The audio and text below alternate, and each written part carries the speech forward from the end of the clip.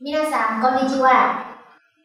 Chào mừng các bạn đã quay trở lại với chương trình học tiếng Nhật cùng Nhật ngữ Hoa Sen. Và ngày hôm nay chúng ta cùng đi đến một mẫu ngữ pháp mới. Đó là mẫu ngữ pháp gì? Các bạn cùng theo dõi trên màn hình nhé.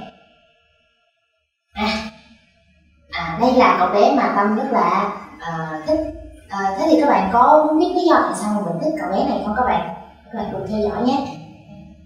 Ano của kawaii desu Ano của ờ, kawaii desu あの子は日本語が上手です。はい。あの子は日本語が上手です。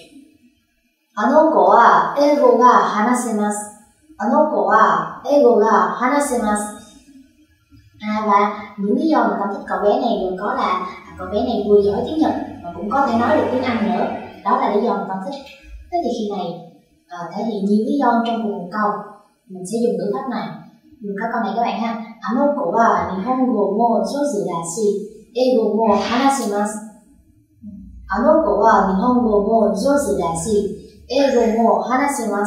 như vậy thì mẫu ngữ pháp ngày hôm nay chúng ta học đó là shishi các bạn ha.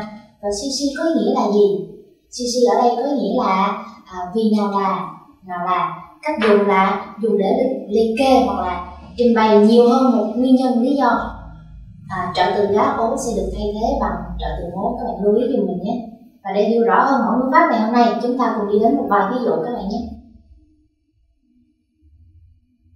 này các bạn nhìn trên bảng nhé このレストランは料理も美味しいし、サービスもいいです。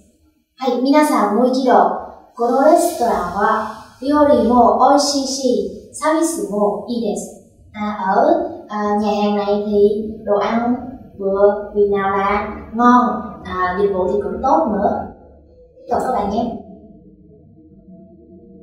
あの人はギターも弾けるし、歌も歌えるし、好きです。はい、皆さんもう一度読んでください。あの人はギターも弾けるし、歌も歌えるし、好きです。Người đàn ông đó thì nào là có thể chơi đàn guitar, à, nào là có thể hát, cho nên là tôi rất thích nhiều lý do các bạn ha có hai lý do mà tôi thích người đàn ông ấy đó là có thể chơi đàn guitar guitar mo ikerushi có thể hát uta uta mo utaerushi suki desu tiếp tục các bạn nhé これは綺麗だし、値段が安し、買いたいです。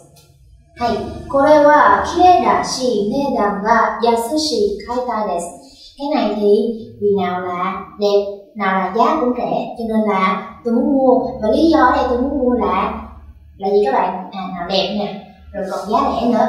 Nhiều lý do các bạn ha, và người ta sẽ sử dụng CC bài học đến đây à, là kết thúc. Cảm ơn các bạn đã chú ý theo dõi. Và nếu như có bất kỳ thắc mắc nào, các bạn nhớ gửi về đội ngũ à, giáo viên của trường Nhật Ngữ Hoa Sen sẽ xem và gửi lại phản hồi cho các bạn. Và để củng cố bài học ngày hôm nay, các bạn đừng quên nhấn vào link bài tập ở phía dưới các bạn nhé. Chúng tôi sẽ giúp các bạn tích thêm một điểm vào tài khoản nếu như các bạn làm đủ 100 điểm. Còn bây giờ thì chào tạm biệt và hẹn gặp lại các bạn. Mà ta con đồ nigashimasu